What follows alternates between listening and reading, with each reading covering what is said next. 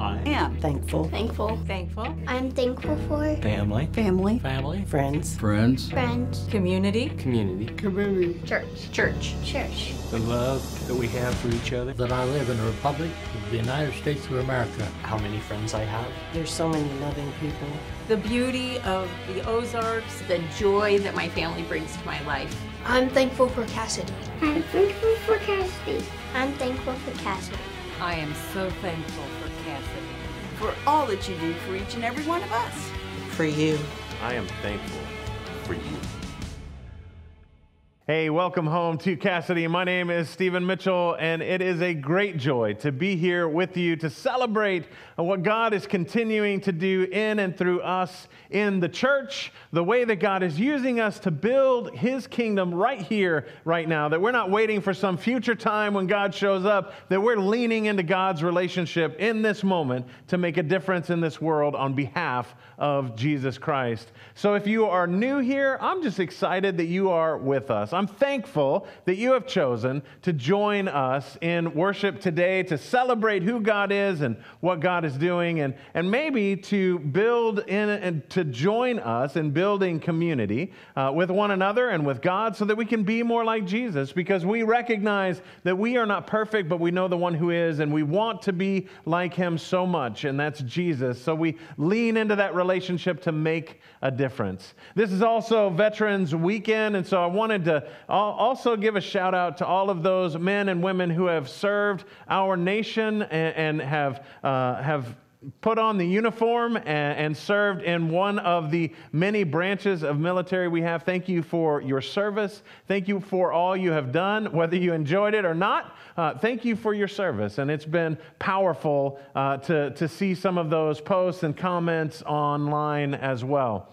Uh, one of the things that has really changed my life uh, recently is the use of social media because we've started this brand new series called Thankful.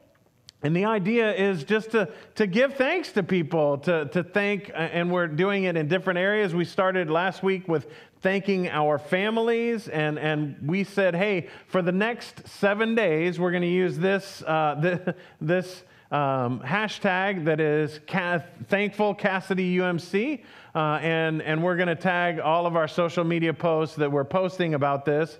Uh, and we started last week by saying, hey, these are people in our family, each and every day, people in our family that we're thankful of, or things that we're thankful for. And it's, it's really brightened up my, my day. Like, I'm, I'm excited to look at social media to see what people are posting, who they're thankful for, and why they're thankful for it. And so I've, I've been super excited about that. And my hope is that you have joined in with us on that. If you are new, hey, now is a great time to start. So we're excited to have you join with us uh, in sharing your thankfulness for others. And this week, we're going to be looking at what, how we can be thankful for our friends. Uh, my, my, my daughter is really good and, and, always has been really good at making friends. Uh, what, what, I remember taking her to the park when she was a little kid. And she would go out to the park and run and play, and, and, and inevitably there would be another child out at the park too, and, and they would suddenly begin running and playing together. And when it was time to go, amidst the pouting and unhappiness, she would come back over and, and, and then she would say, But dad, I don't want to leave my best friend.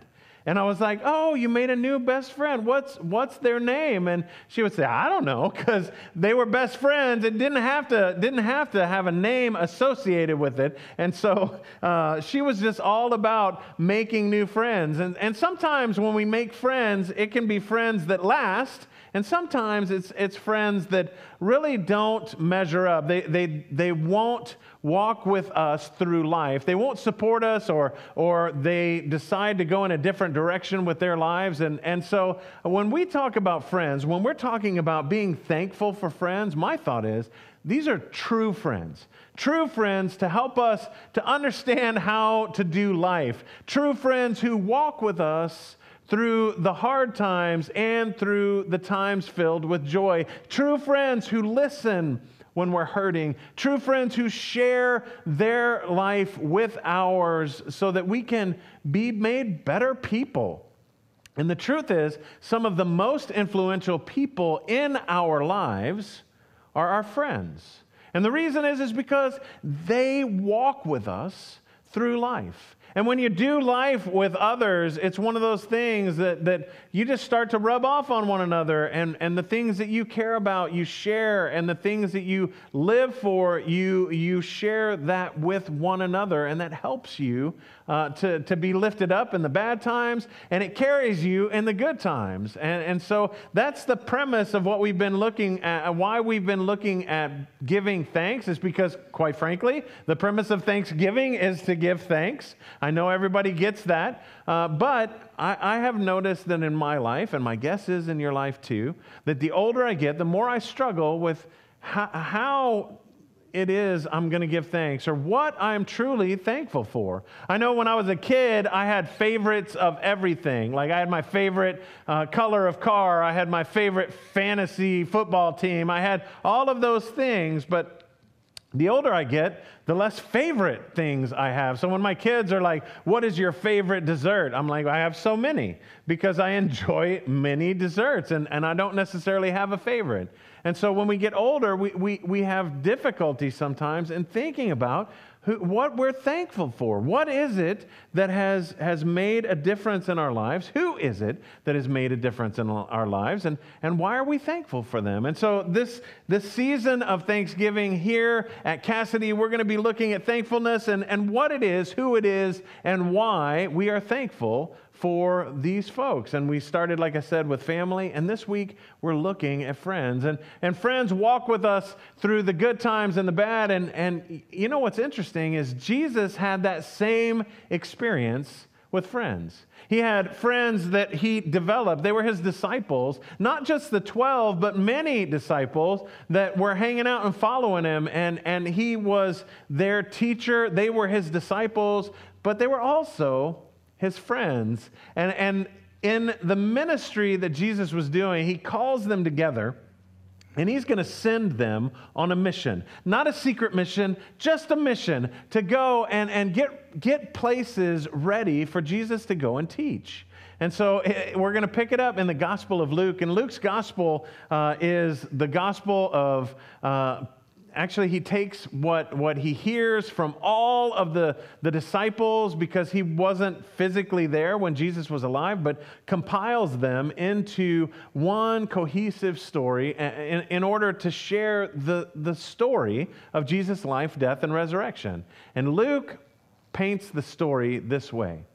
After this the Lord, Jesus, appointed 72 others and sent them two by two ahead of him to every town and place where he was about to go. Basically, he's sending out the hype men, right? He's saying, hey, you guys go two by two into all of these towns where I'm about to go. Let them know that I'm going to be coming so that they can get ready and be excited for this story to be told to them, for my teaching, for the kingdom of God to draw near to them. He told them, the harvest is plentiful but the workers are few. Ask the Lord of the harvest, therefore, to send out workers into his harvest field. Go. I am sending you out like lambs among wolves. Do not take a purse or a bag or sandals, and do not greet anyone on the road. When you enter a house, first say peace to this house. And if someone who promotes peace is there, your peace will rest on them. If not, it will return to you. Stay there, eating and drinking whatever they give you, for the worker deserves his wage. Do not move around from house to house. When you enter a town and are welcomed, eat what is offered to you, heal the sick who are there, and tell them the kingdom of God has come near to you. Jesus sends his disciples out to prepare the people for them. And, and I love this picture because Jesus is saying, hey, don't, don't take a bunch of stuff. Just take what, what is required. Don't take extra things. Just go. And, and when you get to the town, rely on their kindness to give you a place to stay, to shelter you, to feed you, so that you can share the good news that I am coming to tell them about the kingdom of God. And so they do. They, they went out and, and they had heard Jesus say, Heal and cast out demons in my name. And so they go and they do that. And then the 72 come back to Jesus. And, and Luke continues and says this The 72 returned with joy and said, Lord, even the demons submitted to us in your name. They had cast out demons in the name of Jesus and it worked. They had healed people in the name of Jesus and it worked. And they were overwhelmed and overcome and they were excited about the mission and the ministry. And, and now they were important people because why? Because they had healed folks in the name of Jesus. And, and so it, it, what we learn from this is man, it is easy to be friends when things are going good. Jesus has his disciples going and doing, and, and, and, the power that they experience from God is something that they have never experienced before. And they cast out demons and they heal people, and people are paying attention and they become important. And yes, this is exactly what it's supposed to be like. And then we have another story where Jesus is talking to his disciples and he's trying to teach them something pretty, pretty deep and profound. He's trying to teach them about the necessity uh, of, of spiritual life, that, that we have to live spiritually for God because God is spirit and truth, and, and, and the Father wants us to approach Him that way. But Jesus says it in a way that they don't understand. He's telling them, hey, a time is coming when you're going to have to eat my flesh and drink my blood. Now, we hear that and we're like, okay, that's communion, no problem. But they did not hear it that way. They didn't understand what Jesus was talking about. And they were like, wait a second. I, am I'm, I'm not prepared to eat somebody's flesh and drink their blood. Actually, the commandments say don't do that. And so, how could we do that and, and still be faithful to God. And, and, so this caused them some confusion and some frustration. And here's how they responded. On hearing it, many of his disciples said, This is a hard teaching. Who can accept it? Aware that his disciples were grumbling about this, Jesus said to them, Does this offend you? Uh, I, I, love that. So Jesus isn't pulling any punches. He's telling them a deep spiritual truth. They are, are upset by the teaching. And so Jesus calls them on it. Does this offend you? Are you upset by this? And then he follows it up and he says this Then what if you see the Son of Man, who is Jesus, ascend to where he was before? What if you see me ascend to the right hand of God? What then? Are you going to be offended by that as well? If, if I really am the one that you believe I am when you're following me, then pay attention to what I'm saying. Jesus isn't pulling any punches, he's calling them out for their disbelief.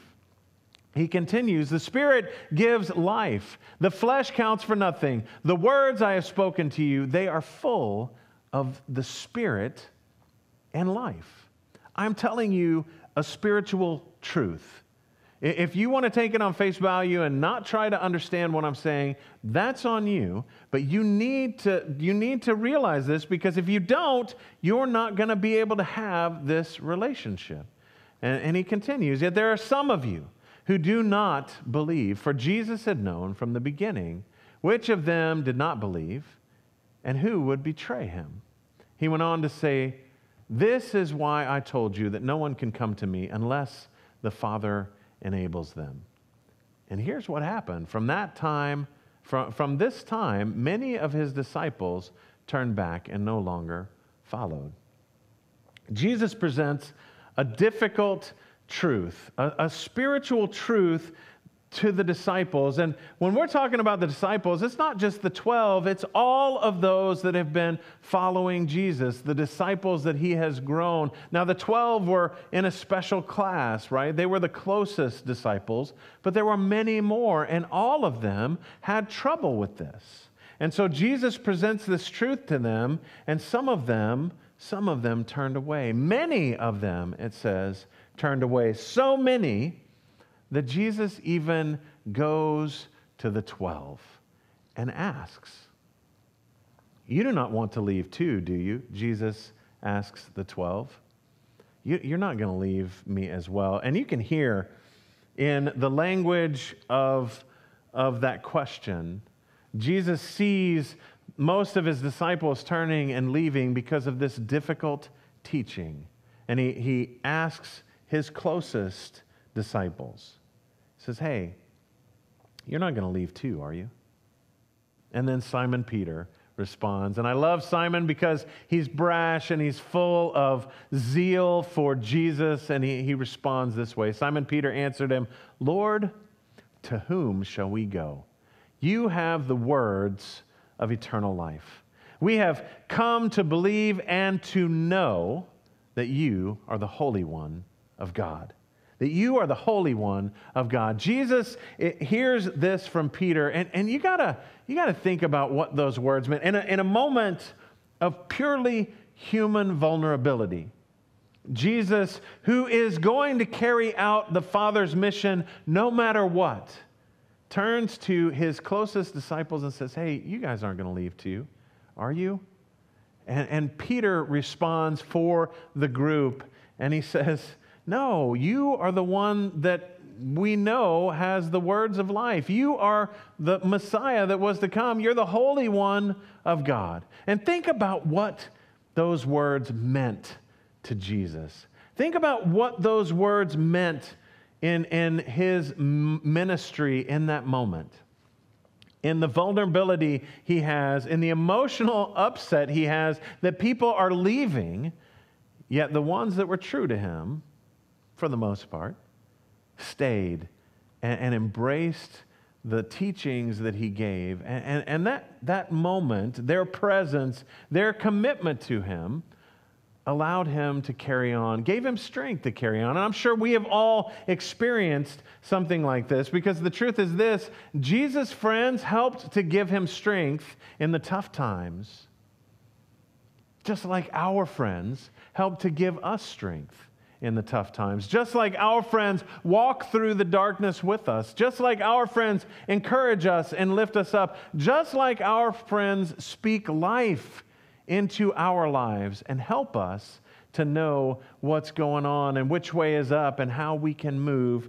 forward, even in the brokenness. These words of encouragement that Jesus received are similar to the same words of encouragement that we have received from our friends in life in those difficult times. And my guess is that you've experienced that firsthand. You've experienced love and compassion. Sometimes you've just experienced them being present with you, sharing that moment with you, hearing the heartache or heartbreak, maybe just sitting and being present with you in a time of loss and heartache.